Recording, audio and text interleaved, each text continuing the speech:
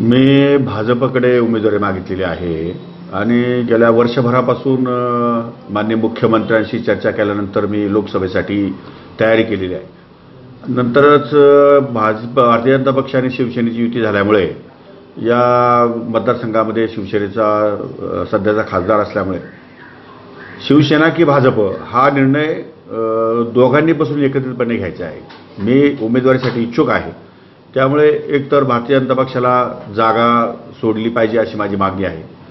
आणि सोडली जात नसेल तर माननीय मुख्यमंत्री आणि उद्धवजी ठाकरे साहेब त्या दोघांनी एकत्रित बसून निर्णय घ्यायचा आहे की मी कुठून निवडणूक लढवावी.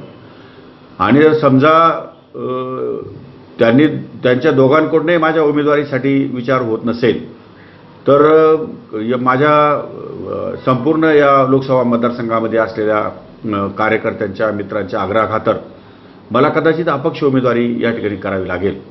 आणि तशा फोर्स जर या ठिकाणी झाला तर मला त्यांना नाकारता येणार नाही.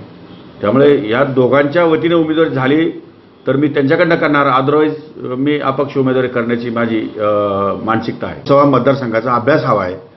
आणि तो अभ्यास माझ्या एवढा अभ्यास मला नाही वाटत मा नाशिक जिल्ह्यातल्या कुठल्याही एका लोकप्रतिनिधी असेल म्हणून. तेव्हा तिथले प्रश्न काय आहेत ते प्रश्न कसे सोडवायचे त्याची मला पूर्ण जाणीव आहे.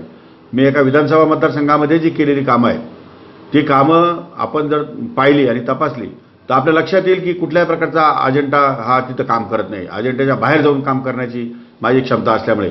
माझा निवडणुकीचा अजेंडा फक्त एकच राहील की या लोकसभा मतदारसंघासाठी कोण योग्य उमेदवार आहे हे नाशिकच्या जनतेने ठरवावं.